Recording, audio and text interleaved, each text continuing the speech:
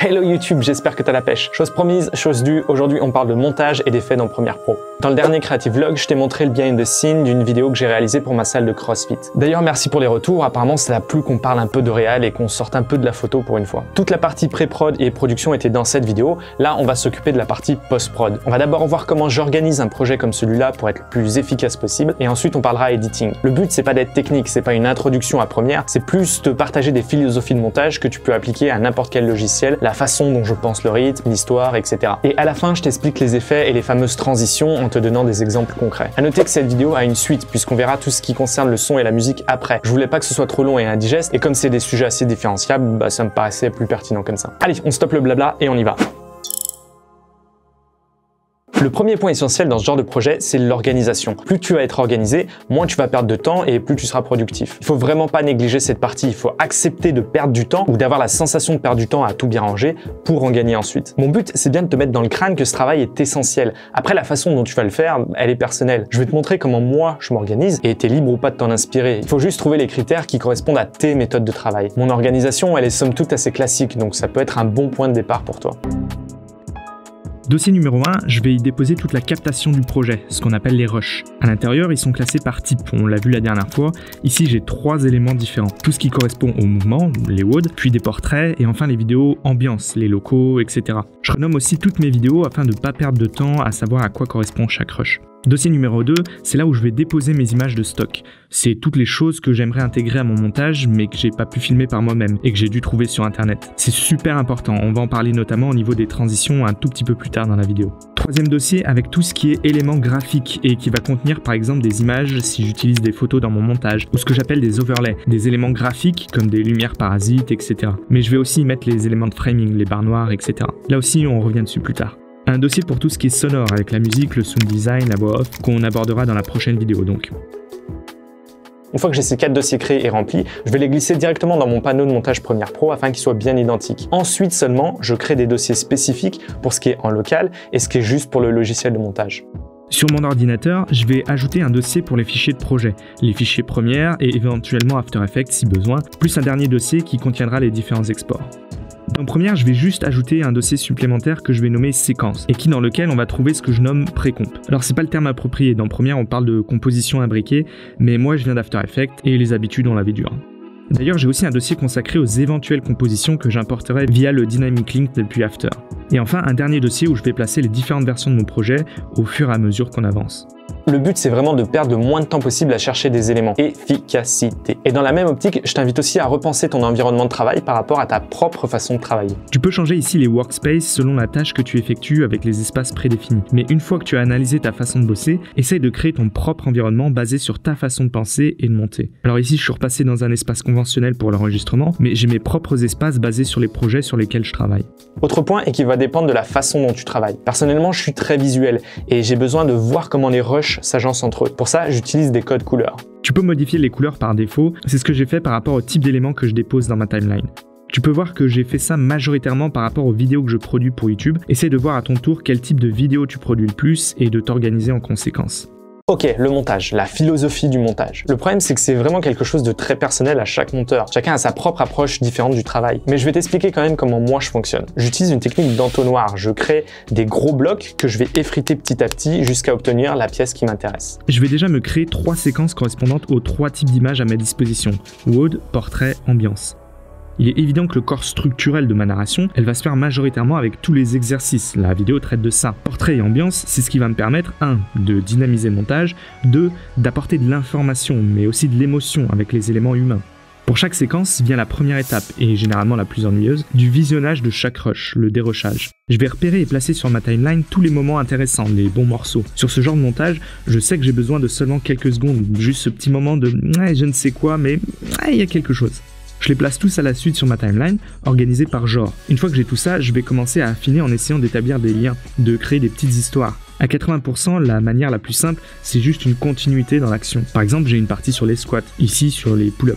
J'essaie de les arranger pas forcément de la façon la plus logique, c'est-à-dire chronologique, mais de façon la plus intéressante ou parfois la plus visuelle. Une fois que j'ai toutes ces petites histoires et que j'ai commencé à supprimer ce qui ne fonctionnait pas avec elles, j'essaie d'organiser ça dans une trame globale qui correspondra à la structure de mon montage final.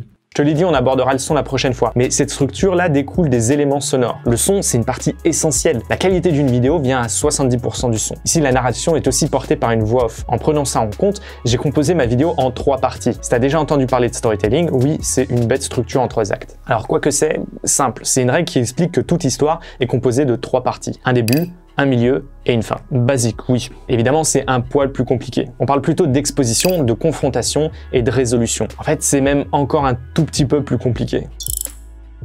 Mais on va en rester là pour notre niveau. Toute histoire parle de conflit, conflit au sens très large du terme. On a une situation initiale, il se passe un truc inattendu, la situation a changé. Ce qu'on appelle aussi le normal, l'explosion et le nouveau normal. C'est le format que j'ai appliqué ici. La partie centrale de la voix off va correspondre à la mise en place de la situation, à établir l'univers dans lequel on évolue. C'est la vision de JP par rapport non seulement au CrossFit, mais aussi sa philosophie de vie qui est exposée. Et on a une première musique assez posée, mais profonde, qui immerge dans cet état d'esprit. Ensuite, tu as l'explosion. On t'a expliqué son mantra, maintenant tu vas le vivre, tu vas le ressentir. On a ce montage très très dynamique, très immersif. Et pour finir, le rythme redescend avec les quelques mots de conclusion. On a une nouvelle situation où tu as vécu tellement de choses que toi aussi, bah désormais tu as la même mentalité, toi aussi tu es resilient. T'as plus qu'une seule envie, c'est d'aller t'inscrire à la boxe la plus proche de chez toi et péter des scores au clean and jerk. Je t'invite quand même à éviter les jours d'assaut bike. Ou les overhead aussi, ça c'est abominable. Ah, et les snatch. Pourquoi je fais du crossfit moi? J'ai collé mes blocs, mes petites histoires là où elles correspondent le plus, et j'affine, je recoupe le montage pour que le rythme soit en adéquation avec la partie où elle se trouve. Le rythme, on pourrait en faire une vidéo entière. Et pourtant, c'est aussi quelque chose d'assez difficile à transmettre techniquement, puisque c'est quelque chose, euh, là encore, de très personnel. Le sentiment d'être sur le bon timing. La seule astuce que je peux te donner, c'est cette technique d'élagage. Tu montes, tu regardes, tu coupes, tu re-regardes, tu recoupes. Garde toujours en tête, cut de fat, aller à l'essentiel. Des fois, ça se joue à une seule frame. Des fois, il faut en enlever beaucoup plus. C'est aussi pour le rythme qu'on va ramener nos plans supplémentaires de portrait ou d'ambiance. Et aussi les graphiques, les inserts, ce que j'appelais les images de stock tout à l'heure. Quand j'ai mon premier montage global, ce que je veux, c'est apporter des éléments qui vont supporter la narration, qui vont apporter du sens. Et un bon moyen de le faire, c'est aussi d'utiliser certains éléments graphiques que j'ai pas pu filmer, ou simplement que j'ai pas la capacité de pouvoir filmer. Et c'est le bon moment de parler du sponsor de notre vidéo Non, je déconne. Cette vidéo n'est pas sponsorisée, dans le sens où je suis pas rémunéré par eux. On va parler du service que moi j'utilise, à savoir Artlist pour tout ce qui est musique et sound design, et Artgrid pour tout ce qui est stock footage. Il y a un an, quand j'ai commencé ma chaîne, j'ai acheté un abonnement sur Artlist, juste pour la musique. On parlera de pourquoi je les ai choisis eux dans la prochaine vidéo. Cet été, ils m'ont contacté pour me proposer de créer des liens affiliés. C'est un parrainage. En gros, si tu veux t'abonner à leur service et que tu utilises les liens qui sont dans la description, ils me verseront une petite commission. Toi, ton côté, si tu utilises ces liens, t'as deux mois gratuits. Thank you! À savoir aussi que j'ai eu une autre contrepartie. Comme je suis un gros crevard, j'ai réussi à gratter. Comme ils sont super sympas, ils m'ont offert un an d'abonnement à Artgrid et ils ont étendu l'abonnement Artlist que j'avais déjà payé au sound design vu que j'avais déjà payé pour la musique. Artgrid donc, service de stock footage. Tu peux faire une recherche directe si tu sais ce que tu cherches ou utiliser les thèmes proposés, par exemple des plans urbains, de voyage. Ce que j'aime bien, c'est aussi la possibilité d'affiner par type de shoot, par exemple quel type de mouvement de caméra, quel framing, etc. L'utilisation la plus évidente, ça aurait été évidemment d'aller chercher des visuels de sport pour augmenter le matériel à ma disposition, mais comme on a bien bossé sur la partie pré-prod, bah on n'en manque pas. On aurait aussi pu chercher des images difficilement réalisables en production avec nos moyens, comme un super plan au drone pour introduire la vidéo. C'était même l'idée de départ, mais au final j'ai préféré commencer tout de suite avec ce côté immersif du plan rapproché à l'épaule, le jump cut qui met aussi directement dans l'action, et mettre les plans d'exposition juste après. Non, comme d'habitude, nous on va rien faire comme les autres. Ce qu'on va plutôt chercher sur ArtGrid, c'est des univers visuels impossibles à obtenir autrement que graphiquement. On va prendre un exemple concret, je vais choisir cette séquence et on va l'analyser ensemble. Je voulais trouver un moyen d'exprimer ce rush d'adrénaline que tu peux ressentir durant un WOD. Et pour moi, visuellement, ça passait par un afflux sanguin. Tu vois, bah va filmer ça toi. Sur ArtGrid, j'ai fait une petite recherche pour trouver cet effet de vague sous l'eau très typique, qui peut rappeler ce flow violent, mais qui aussi se rapproche du sentiment d'être submergé. C'est un visuel qui a rien à voir avec notre montage, donc comment on le mixe avec le reste? Le but ici, c'est de passer d'un portrait à un autre, deux portraits très posés, calmes au niveau du rythme, et de le faire en insérant énormément de dynamisme entre les deux. Il n'y a pas de règle particulière, comme je te le dis, c'est beaucoup de feeling, mais on va essayer de voir ce qui se passe frame by frame. On a d'abord notre portrait, et là je veux intégrer un sentiment d'urgence en utilisant le plan du timer. Il s'agit de deux plans très calmes, rien de très nerveux se passe. Je vais utiliser une technique qu'on a vue en production dans le dernier vlog, celle de progresser d'un plan d'exposition au close-up. On visualise de quoi on parle et on s'approche au plus près. J'ai mon timer quelques frames, puis je zoome au plus proche, à peine trois images, juste pour avoir un glimpse à un aperçu.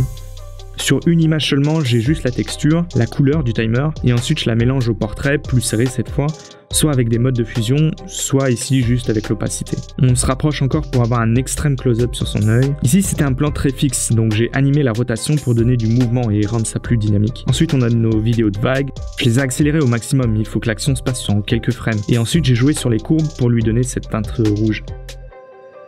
Là, je mixe deux rushs ensemble juste avec un fondu, il faut juste faire attention à ce que les mouvements correspondent entre eux. Là, je vais pouvoir passer à mon autre portrait, une nouvelle fois en jouant sur les modes de fusion et l'opacité. J'ai aussi fait un petit insert ici du même portrait à une échelle différente, mélangé avec un mode de fusion, ici screen, juste pour donner un petit effet de glitch là, pouf j'ai aussi repris ce même type d'effet ici avec une autre vidéo d'un liquide, euh, je pense de la peinture, trouvée sur ArtGrid. Pour la couleur du portrait, j'ai simplement utilisé mon sabre laser, celui qu'on avait testé dans une autre vidéo. Je te laisse un lien euh, quelque part. T'as pas pour obligation de faire des souches à chaque fois pour passer d'un plan à un autre. Tu vas même donner plus de rythme juste avec des cuts. Passer d'un cut à un autre de manière fluide, ouais, ça demande de l'expérience, mais le principe de base, c'est de donner un repère auquel l'œil peut s'accrocher et de le maintenir au plan suivant. Alors ça peut se faire par le mouvement, continuer le même mouvement d'un plan à l'autre, mais ça peut aussi être fait en maintenant des formes ou, comme on vient de le voir, par la couleur, en essayant de conserver le rouge.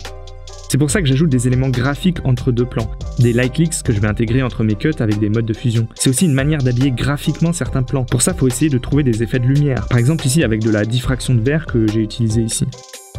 Il y a un plan aussi que je voulais faire en super slow motion, tu sais, c'est taper les mains avec de la poudre comme ça. Ouais, ça tout le temps. Mais si tu commences à foutre de la magnésie un peu partout dans la box, euh, j'y peux te le faire payer en burpee. Du coup, euh, bah, j'ai pas tenté le diable. Et donc, euh, Hard Grid, Regarde, celui-là, il est vraiment top. Avec un petit coup de correction de couleur, il sera parfait. Encore une fois, mode de fusion, opacité, un peu de sound design derrière pour faire passer le tout, et on a un effet super intéressant.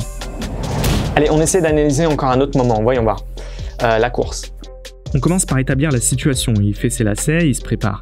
Là, cet effet, c'est simplement trois photos mises en boucle, il n'y a rien de magique. Il commence la course et c'est juste des cuts sur différentes parties du corps ou différentes vues, plan épaule, plan de face, etc.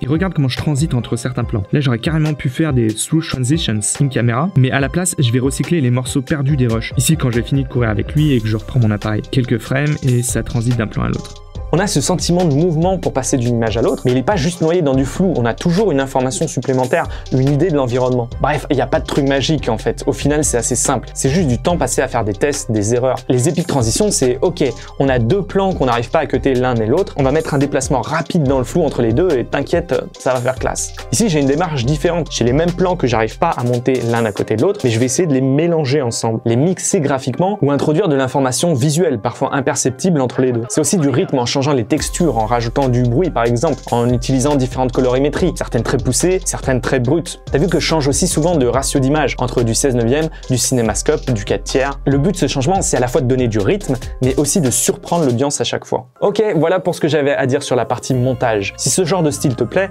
n'hésite pas à faire des tests dans ton logiciel vidéo, mais encore une fois, c'est pas une nouvelle référence à laquelle il faut t'accrocher. Le style doit correspondre à la narration, doit avoir un sens par rapport à ce que tu veux dire. Mais je t'ai déjà suffisamment cassé les bonbons avec ça dans le vlog, on va pas radoter. Si t'as des questions, t'as la partie commentaire. Si t'as un trop plein d'amour, tu peux exploser le bouton like. Si tu veux suivre mes aventures, tu peux t'abonner à la chaîne. Si tu aimes les petites cloches, tu peux activer les notifications. Et surtout, surtout, oublie pas de partager parce que c'est ce qui m'aide le plus. On se retrouve très très vite pour la dernière partie dédiée au son, très importante. Vraiment, loupe pas ça. En attendant, des bisous. See you mate, keep on creating.